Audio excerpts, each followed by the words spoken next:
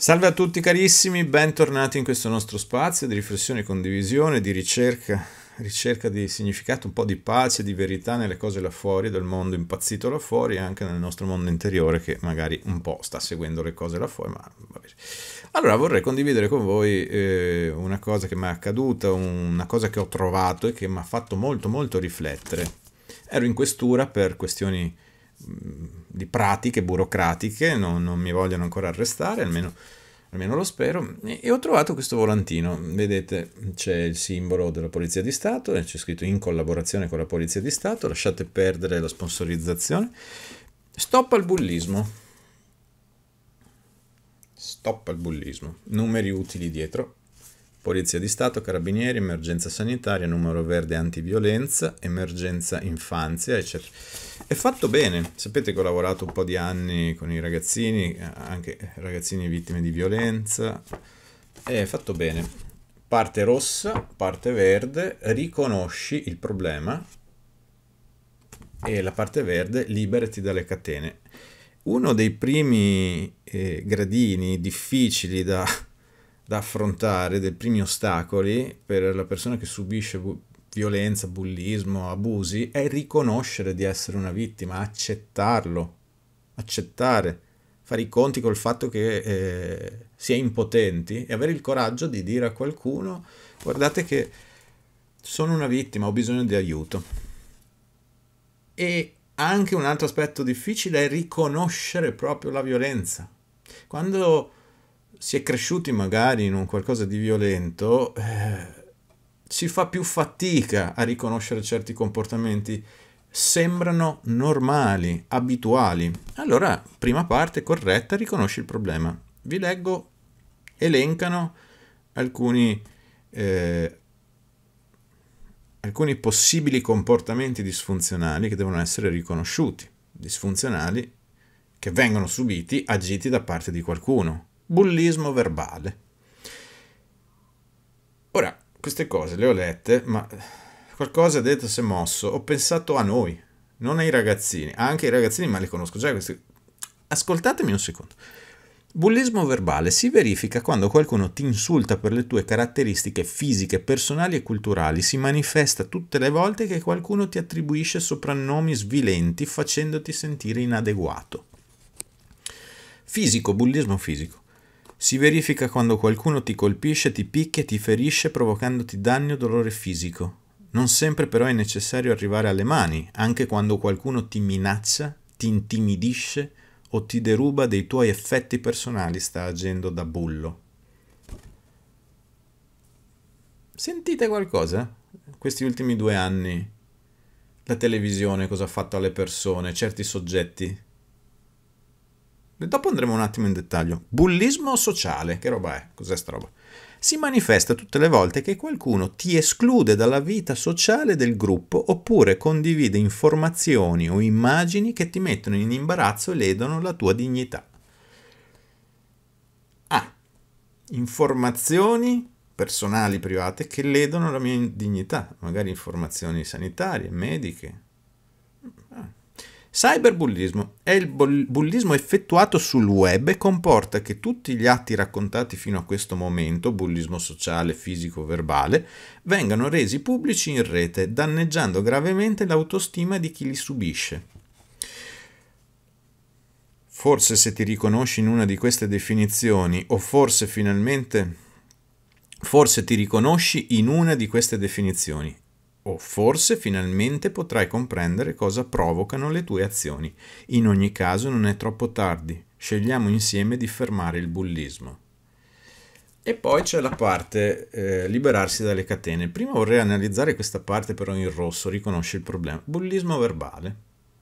Allora, è un anno che attraverso le tv diversi soggetti, a mio avviso, utilizzano una violenza generale verso i cittadini, il runner, la persona che ha abbassato la mascherina, che ha fatto un pensierino diverso, un medico che aveva un'idea diversa, la persona che ha detto forse io dubito, non so se mi inoculo. Adesso coloro che ne hanno fatte due sono dei vili se non fanno la terza.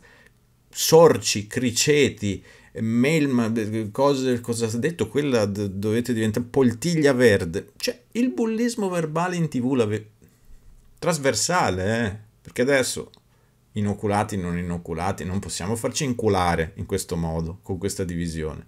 È un bullismo verbale continuo verso tutti, verso l'intelligenza, ma quello fisico è bello. Hai fatto la vaccinazione, sei inoculato, ma il tampone te lo faccio lo stesso, un bel molecolare, quando c'era un tizio piccoletto che diceva è una sofferenza e la sofferenza li porterà a ragionare. I maledetti, quelli di prima, quelli non inoculati, però adesso la fanno tutti. Poi è arrivato quello che col bullismo verbale ce l'aveva con i sorci, sorci, sorci, eh, ho visto tamponi spezzarsi. Eh, li ho visti spezzarsi. Adesso vaccinati, non vaccinati, po' di tamponi, ce li facciamo tutti. E qua non sempre però è necessario arrivare alle mani, alla violenza, qua ne abbiamo avuta. Cioè, ormai c'è gente che ha delle narici grandi. Ma anche quando qualcuno ti minaccia, vi verremo a prendere a casa, vi staneremo. Dovete farne tre, adesso quattro, vili, volete mollare, ti minaccia, ti intimidisce o ti deruba dei tuoi effetti personali. Vi multeremo. Vi daremo sanzioni pesantissime, gravissime, così scrivono i giornali adesso. E c'è il passaggio prima, eh, quando dicono qualcuno insulta, colpisce le tue idee, i tuoi aspetti culturali, personali. È un violento, un bullo. Sotto, bullismo sociale, si manifesta tutte le volte che qualcuno ti esclude dalla vita sociale del gruppo oppure condivide informazioni, magari di salute, di co- o immagini che ti mettono in imbarazzo. La Digos vi ha ripresi tutti, finirete in tv, vi manderanno sul giornale, eh, abbiamo le vostre foto. Abbiamo sentito di tutto perché si andava a manifestare in piazza perché stava, tante persone perdevano il lavoro. Vi ricordate all'inizio addirittura a Milano i ristoratori? mandati tutti a casa. Segnalati, fermati, multati. Mm. Quindi, bullismo sociale mi piace, si verifica quando qualcuno ti esclude dalla vita sociale. C'è qualcuno escluso di recente? Perché quel sorcio di Novax lo diventa ognuno di noi appena scatta il, la fine del tempo di validità dell'inoculazione o della, della malattia che hai fatto e quindi sei un escluso, torni ad essere un escluso. Cyberbullismo è il bullismo effettuato sul web e comporta tutta una serie degli aspetti precedenti. Beh, la violenza di pagine di medici chiuse, persone che semplicemente perché hanno espresso appunto loro pensieri, caratteristiche personali, culturali, sono, si sono viste chiudere un canale, magari canali che eh, erano anche loro spazi di lavoro, di comunicazione, eh, con una storia di anni. Bene, adesso passiamo a liberati dalle catene, perché credo che in questa descrizione ormai, eh, in questa situazione, si sentano sempre più persone. Cioè, praticamente io credo che magari con un'intensità diversa, ma siamo intorno al 100% degli italiani, si salvano i parlamentari ovviamente, ma quello è un altro discorso. Ecco, allora cosa dobbiamo fare? Perché la Polizia di Stato ce lo dice. Liberati dalle catene. Se sei vittima in modo intenzionale e costante di intimidazioni, beh, in modo intenzionale, mi pare di sì, e costante, due anni. Due anni che va, adesso andiamo verso il terzo. Di intimidazioni, sopraffazioni, pressioni fisiche o psicologiche. Insomma, se non fate quel che diciamo, vi togliamo il lavoro vi multiamo, vi, vi togliamo il denaro. Ma sembra... Cioè, abbiamo a che fare con dei bulletti piuttosto...